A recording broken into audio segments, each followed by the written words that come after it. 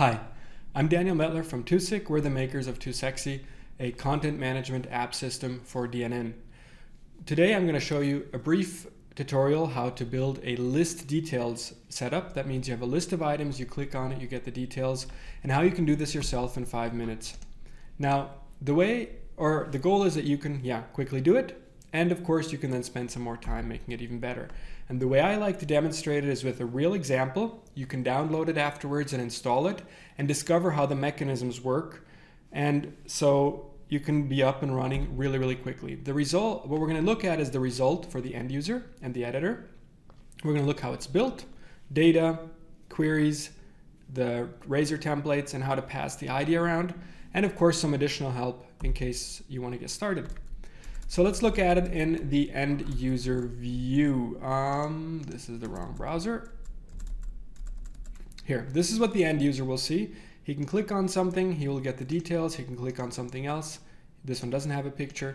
Very simple. Now the editor, this is the logged in mode, sees the same page, but he has edit buttons. For example, he can always click on edit here.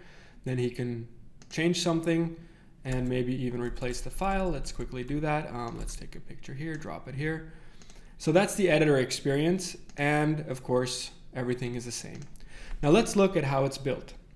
Basically, we always start with data. That means we have a content item here called question and answer, which has three fields, a question, answer, and image. You can configure what they are. If we look at it, this is the list. Now, we want to get this data out to the template. For that, of course, we need the views.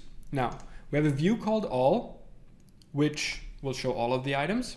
We have a view called short answer, which is the pop-up, and the other one you can just play around and find out what it does. Now these views look as follows. This is the all view. And if we go to the editing here, you will see this is what it looks like. It's mostly comments for you to learn. It has some HTML tags that build the structure and placeholders like this one here will put the question inside the list item. This stuff here is just a normal link. And here's a helper that will generate a correct link on the current page. So that's all there is to it. The answer page looks almost the same, but of course has the question and the answer to be shown, plus a conditional show the picture or not. So that's how it's built.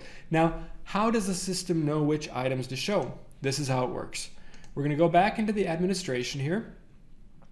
And in the views, let's look at the all, we can configure what data comes in. There's one way to do it where you just say users added, and then you can have different modules which show different items. In this case, we want to show everything. So we're going to use a query, which is here all questions. Now, that means there's a query called all questions, which will deliver all the items, and the template, this one here, just uh, will loop through it and show it. You can always play around with the code later on to find out how that works. The query is stored here. Let's look at the all questions. Basically, all this does is it takes all the data from the app, takes the question and answer stream, which contains these items, sorts them, and delivers them to the target. Here's where the sorting is configured. Okay, the question is a sorting property. We can hit play, and you'll see it has three items that it will then deliver to the target. The target is this template, which we looked at before. The template gets the data, shows it, and that's it. So what about the details? The details work as following. The details page, of course, also has a query, and this one will get the item from the URL because our list here will say add an ID to the URL. And with this ID, it has to find the item. Let me just demonstrate this briefly. If I add an ID equals this. We're still on the same page, but now the other view loads and the correct item shows. So this is how it's done. Um, um, here the menu is over here. If I go to these settings, you will see that I have another query called question of ID. It looks almost the same. It has an app, it'll take the question and answers, but it'll filter the value. It'll, it'll filter it based on the query parameter in the URL. So that makes it take just one item. If I hit play here, you will see that um, it just has one item in it now. It, you see it brought three to the filter, it results with one, and that's the one you're seeing right here in the background. Now, how does it know to switch views? That happens here.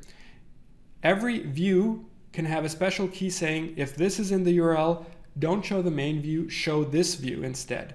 So here we added an ID parameter. So what the system does is if it finds an ID in the path, it will then switch views and use that query, of course, which was configured here, question of ID, and show what results from there.